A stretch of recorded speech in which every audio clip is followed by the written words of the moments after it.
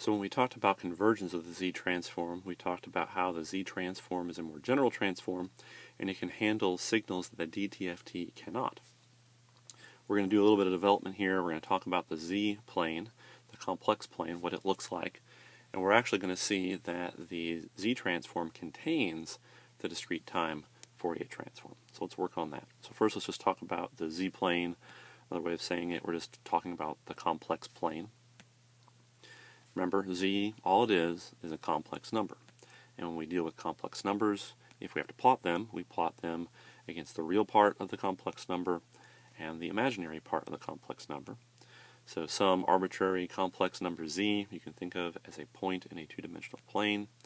And the way we've been representing z in this discussion so far is we've thought about it in polar format. So it is some distance away from the origin, that's the distance we call r, and it's also at some angle with respect to the real axis, which is what we call omega.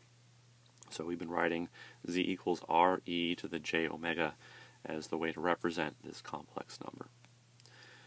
So one thing that's interesting is if we let r equal 1, and remember r, this is that free kind of variable we have in the z transform that we can set to guarantee that the z transform converges, and the values for r where the z transform converges is what we were calling the region of convergence.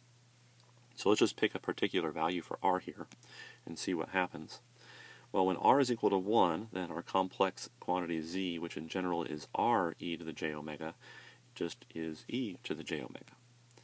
The magnitude of z in this case, we take the magnitude of e to the j omega, that's just equal to 1, because e to the j anything, that magnitude is always 1. So this is just a point on the unit circle.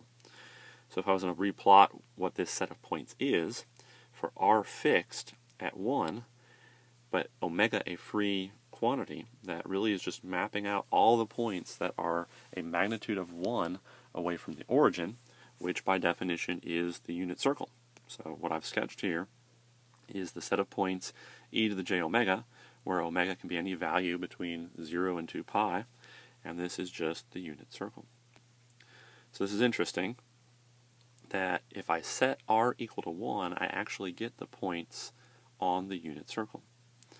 What we can actually do is if we have the z transform of a signal, so let's say I've computed x of z, if I have the unit circle in my region of convergence, if I let r equal 1, then I can actually get the DTFT out of the z transform.